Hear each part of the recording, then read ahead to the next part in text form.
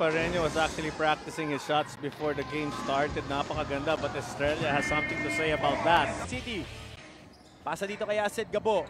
Balik kay Estrella. Mas malapit na tira. Palobo, pasok. Para kay the baseline, pasok. Para dito kay Rudy Onde. That guy has a decent yung turnaround shot within that painted area. No? On the last game pero hindi talaga nila mapantayan ang energy ng Tanduay who had home court advantage. There are no injuries for Zamboanga tonight but he did say that they are struggling with a third JC Collado hindi rin katangkaran. Kaya ito, nakakatakbo sila. Kakasabi lang natin, Piti Santos.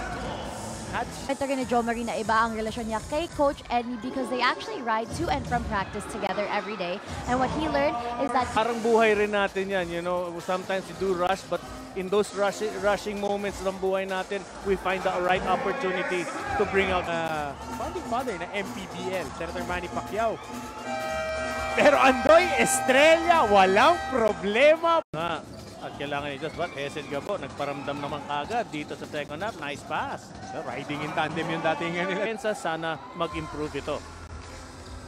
Keep everybody involved. Yun, 13 assists na sila. They really like to move that ball around looking for the open shot, but PJ Baro, Perez at ni Ma'am Elizabeth Bagonok ng OFW Party List. Yan, maraming maraming salamat po sa inyong sakripisyo mga kaibigan nating OFW.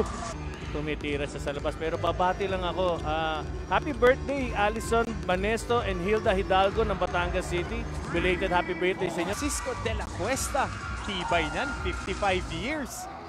3 on Very 1. yan. Pero ito 3 on 1, drop pass kay Transition defense. Ang hirap gawin nun. Buka ng takbo eh. Paatras to defend, yes. And finding the matchups. Oh, Prinsesa pala. Puerto Oh, Galera kasi puro Puerto pitch. Prinsesa, nga eh. naman. Kaya si Esek eh. Gabo, nakakuha ng agaw. Wow! Over dito si Estrella.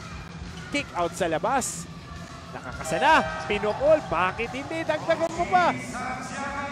Santiago. Isang... Ay kasi gusto niya Running. eh. Yan, yun. Di ba dyan natin nakilala si Colyado? As we see Nolasco finally getting the basket.